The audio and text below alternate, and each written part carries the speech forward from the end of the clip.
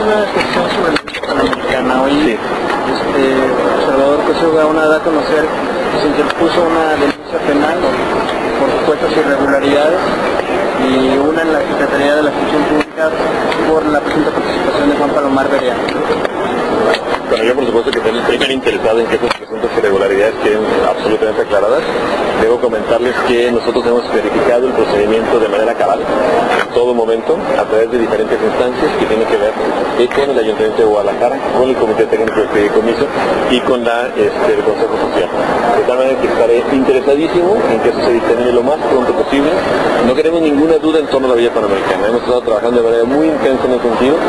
Queremos que la Villa Panamericana esté oportunamente y por lo tanto, bueno, pues yo agradeceré muchísimo a todas las autoridades involucradas en este concepto que a la brevedad posible dictaminen en beneficio de la tranquilidad de la sociedad y particularmente del desarrollo del proyecto. Hay un señalamiento en particular de que Bosco Arquitectos es filial de una compañía que tiene irregularidades o que no terminó la biblioteca José Vasconcelos y la biblioteca del Sur. Es un señalamiento equivocado, lo digo con toda franqueza. Efectivamente, la familia Gutiérrez Cortina es propietaria de la empresa Gutsa, no es el caso de Bosco, pero dejemos que las autoridades lo determinen.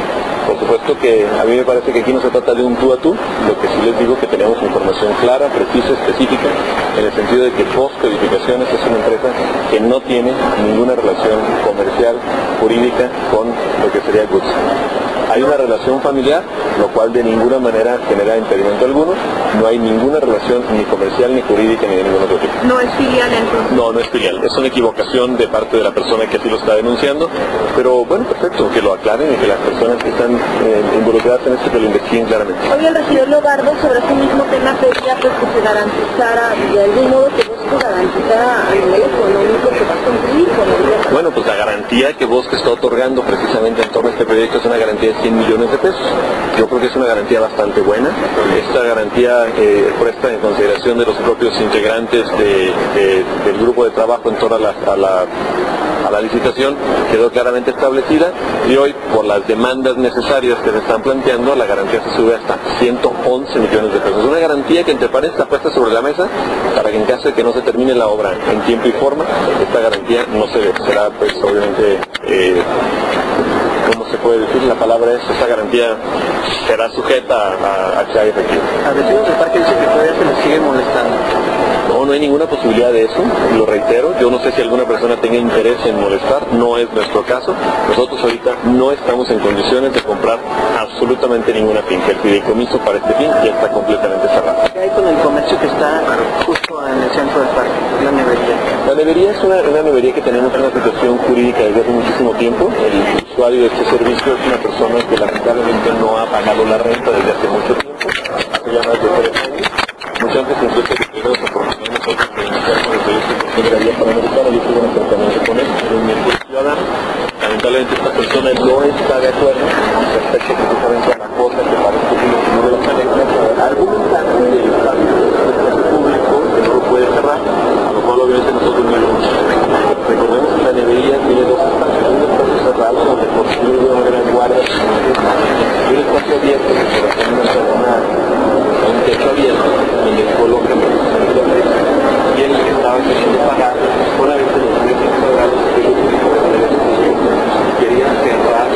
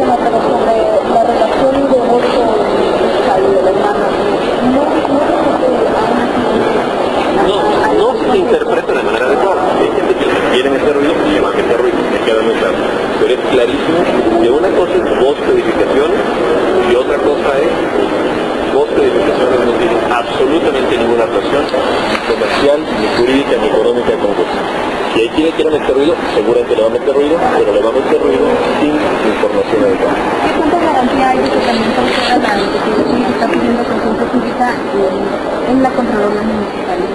Toda la garantía. De hecho, perdón que me insista, el principal interesado soy yo porque ese es un proyecto sin duda novedoso, completamente diferente, que a mí lo que más me interesa es que tenga toda la justificación, todo el apoyo social necesario para cumplir sus objetivos.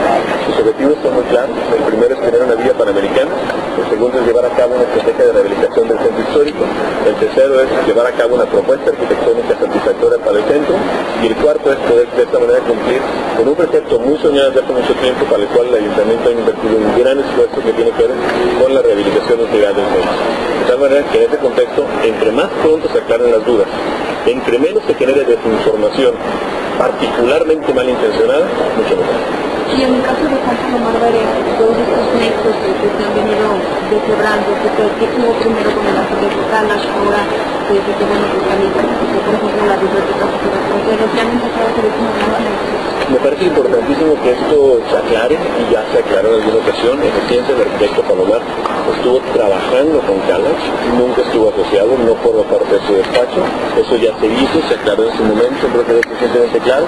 Y de lo demás, perdón, eso habrá que preguntar al arquitecto Palomar, pero creo que el arquitecto ni siquiera conocía a En otro tema, ¿qué pasa con la legislación, la compra, perdón, la orden de compra de los árboles de 25.000 árboles que se aprobaron la semana pasada? ¿No han entendido que se detuvo la orden de compra? Yo le he solicitado al Contralor que investigue el procedimiento mediante el cual se realizó esta asignación. Le he solicitado al proveedor que no se extienda la orden de compra hasta en tanto no se determine que se haya cumplido cabalmente con todos los procesos. Yo participo en las comisiones de adquisiciones, yo la presido, yo eh, eh, estuve presente cuando se hizo la propuesta, cuando se hizo la propuesta se revisó propósito las integrantes de información y no se documentó que existiera irregularidad alguna.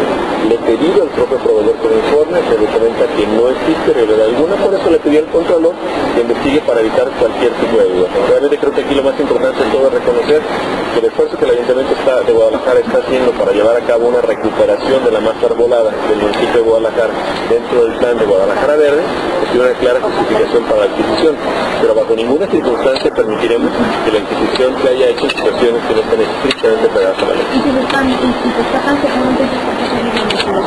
Pues para la finalidad de poder aclarar las cosas, el propio regidor Navarro Alcalá ahorita puso un punto de acuerdo que yo acepto cabalmente. ¿Podría responder el procedimiento? En caso necesario sí, digo, en un momento determinado si se documenta que hubo alguna irregularidad, bueno pues se acepta, entonces se, se, restituye el procedimiento, se aplican las sanciones y se lleva a cabo una compra temporal. Parte de, de los de las anomalías que pudieran haberse presentado está precisamente en la licitación que se pedían a los proveedores que tuvieran capacidad suficiente para ser ellos quienes pudieran a la yo creo que esa es una situación que habrá que interpretar con muchísima eh, cautela para evitar que en un momento determinado una situación de este tipo limite un número de proveedores demasiado pequeño. Porque recordemos que estamos pidiendo alrededor de 12, si mal no recuerdo, diferentes tipos de árboles los diferentes tipos de árboles es muy poco probable que se cultiven en un solo vivero tanta variedad. La mayor parte de las veces los viveros se especializan en tres o cuatro especies. Tal forma que yo creo que hay que vigilar con mucho cuidado. Poner eso en las bases de licitación, desde mi muy particular punto de vista, podría de alguna manera sugerir la posibilidad de que estuviera parcialmente direccionado.